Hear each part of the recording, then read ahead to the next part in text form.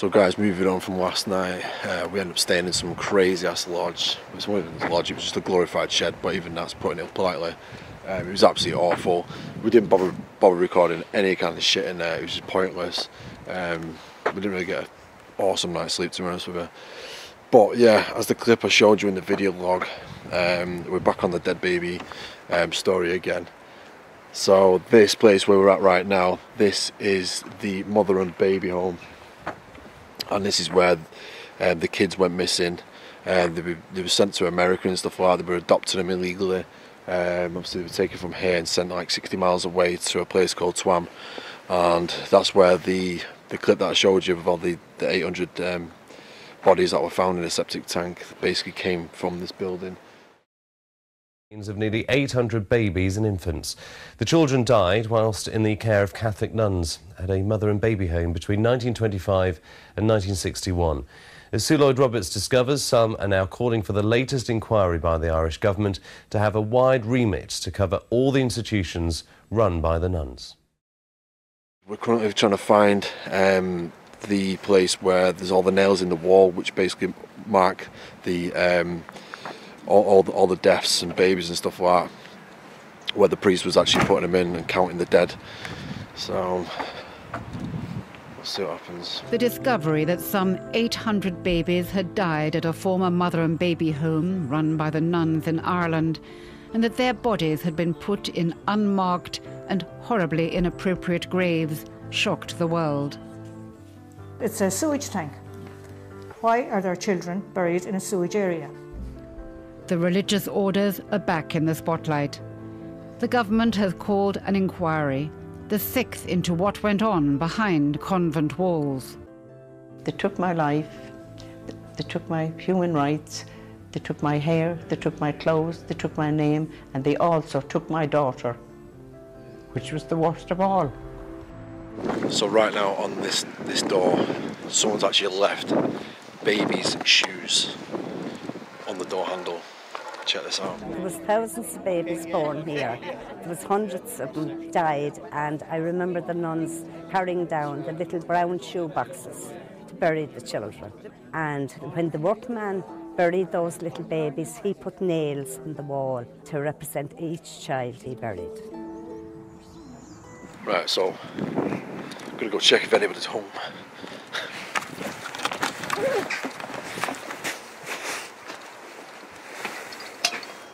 Yo, the door the doorbell still rings.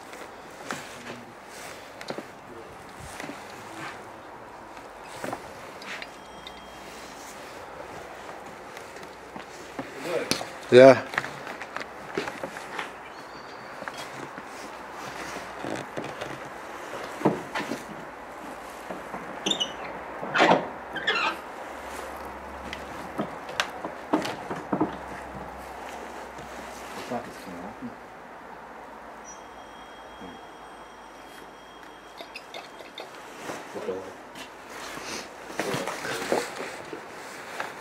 What? Oh, yeah. Well, it's definitely a loud doorbell. There's nobody home. the door.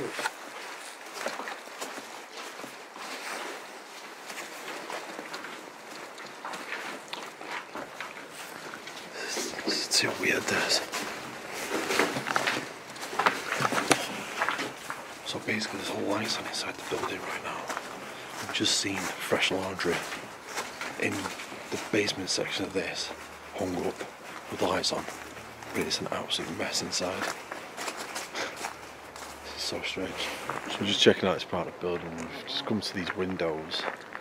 And someone's literally been stood at most of these windows, scratching with some, and on the inside as well. Check this out.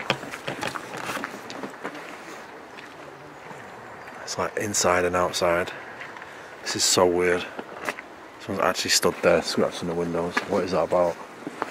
They're all over the windows. It's just so weird. But this is 100% abandoned. But they've actually got fake flowers in one of the windows in a plastic bottle with water. like, who does that? So we've just been around searching the grounds for the nails in the wall, but unfortunately we cannot find any of that stuff. But what's really weird is the, the leads are actually taking us to this place, and it says they're around here somewhere. But I don't know. It's just a wild goose chase at the moment. But we're not going to give up. We're going to keep looking, to see what happens. So I think we're onto something here. We've tried a different route. Um, so we're hoping the wall's going to be down here with the nails on. I think it's happening right now. From all the research we've actually done, um, it's basically leading towards down here. So, fingers crossed, found it. Can wrap this case up.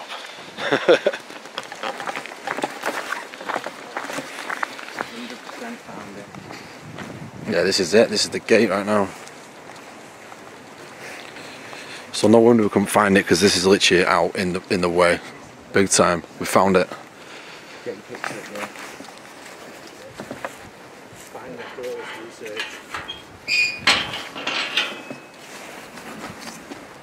Jesus, it's only taken how long?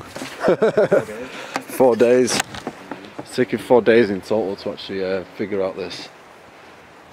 So the nails are said to be in the wall that marked every death of the babies, children. So let's have a scan.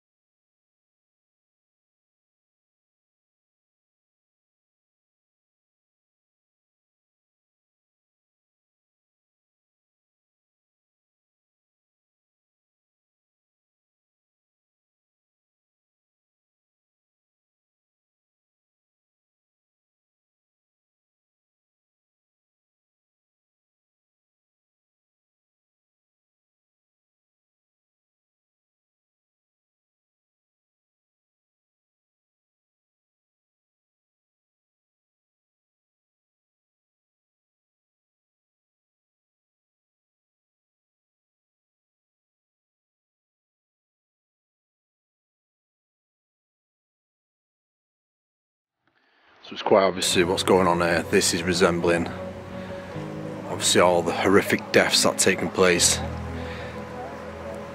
throughout the Magdalene laundries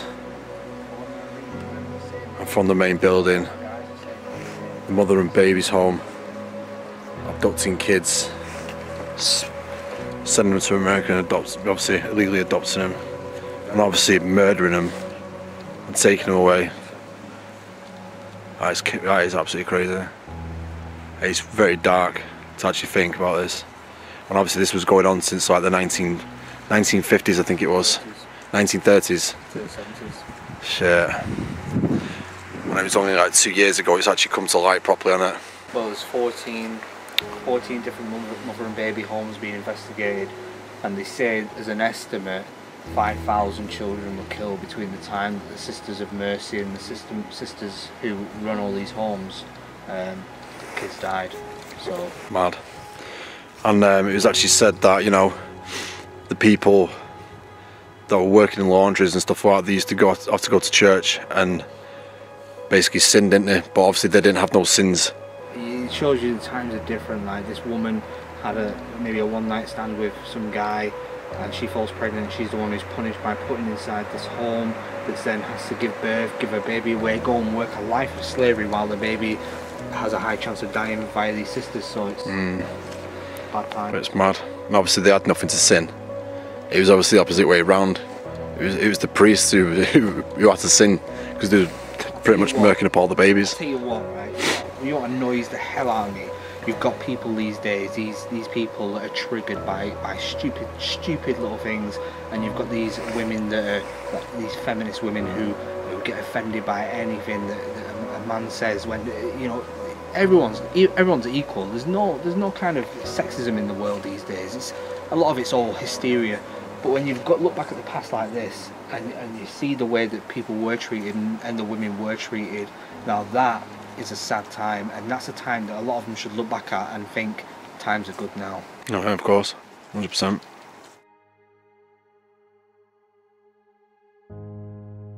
So I'm thinking obviously all the years of doing crazy stuff, documenting places, paranormal investigations, urban exploring, documenting all the decay and stuff like that. Um, you know, working on different stories and stuff like that. But this is, you know, this has got to be the darkest story I've actually worked on um, in the whole time of doing this. You know, we're looking at this right now, and it's just a really dramatic, dark reminder of obviously what used to take take place in the Magdalene laundries.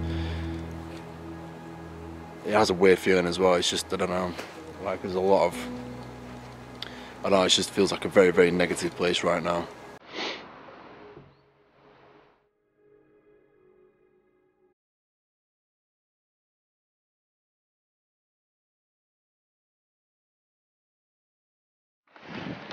So tonight brings us to the Hellfire Club. We was actually going to do this on the first day and do the explore. But no, on our last day, we've come to do a bit of an investigation at the Hellfire Club. I'm going to chop the video. Make sure you check it when it comes out. Right, so we've just done lift spirit box at the Hellfire Club. Make sure you check that video when it comes out. It got a little bit intense. I'm not gonna lie. Shit me up. My name was coming through the spirit box as usual. More, than usual, to be honest with you. Uh, me and we did, did the spirit box. We absolutely bricked ourselves, and we just we've just come back down now. Half an hour trek down this place. Getting in the car. We are leaving tomorrow. This is. I'm sure it's been been been a mad one. Shit. My heart's still going.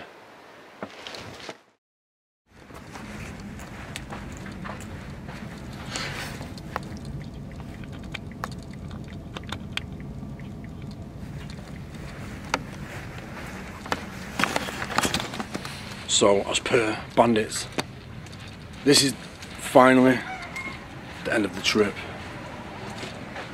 Last moments from Wheaton right now. Is it going to happen now?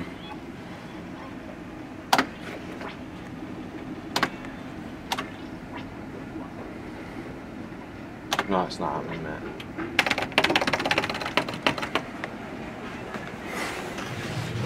yeah, make sure you go check out Wheaty's channel as well. Carl. Alright, oh, I never read those. Exploring High Times, check the links in the description. Also, Dan's channel, Exploring Fighters. Yeah, it's been a mad one. Been, been interesting. Well, that is it. Dan, what are your thoughts on this road trip right now? Thoughts on the road trip? Oh, you see if you've got your extension. Oh, my thoughts on the road trip. It's pretty, pretty shocking. I'm so glad we all agree on that. Mm, it was pretty dire, The wasn't last day was the best day.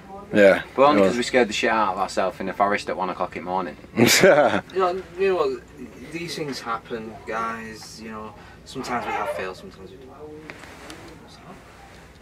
It's I like it too. part of a road trip, innit, I suppose. No, it's just what happens. I mean, we I got like four videos, um, which is how how was it? Six days. It's, Yeah, it's six. not it's not great because uh, when I was here last time, I did I recorded like six, baby, seven might not be able to hear videos in one day. So it's like Uh, right, well I'm literally, we're out at sea Mm. already. yeah.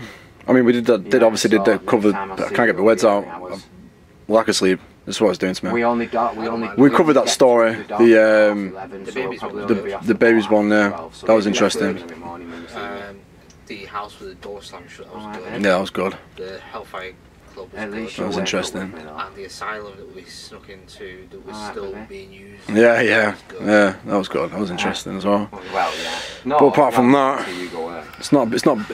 Apart from that, it's back to the Alright, grind. anyway. One of us is going to die in these trips. aren't they? Genuinely, Someone's gonna die one day. genuinely, yeah, they are either either in one of these locations or on the road to the location more than likely. Mm. Yeah, things are good. The problem is, right, is like uh, we, we record these videos and like, like, especially me, I feel like I've got to bet myself all the time, and I'm doing more dangerous things and more daring things, and we're all doing it.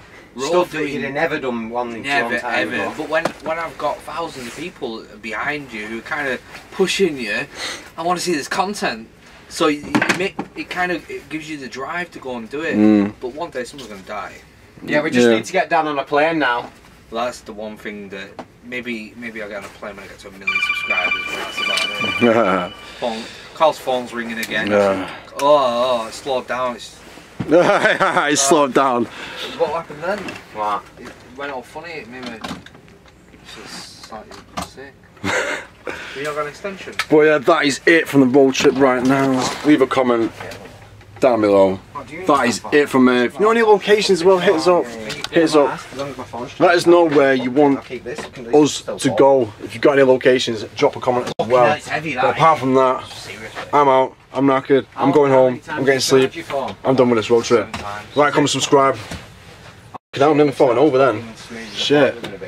Jesus, proper swaying oh, in, man. Oh shit. oh. And I get What does that- seasick. Oh, I just had spinach. The marine lasagna. engineer, the marine engineer that used to fix boats gets gets seasick. How do you work that out? Oh. Yo, it I was- just, oh, bro, I'm not even being funny. If I spew up spinach lasagna all over you and chocolate fudge cake. Why do you think I'm up here? I'm safe, me. Oh, it's, I've got a feeling of projectile vomit. It'll hit the ceiling. I'm the one on the, I'm the one that was sick on the last trip here, and I'm on the top bunk, boys. Do you know what? I'd be surprised if I'm the next victim on this.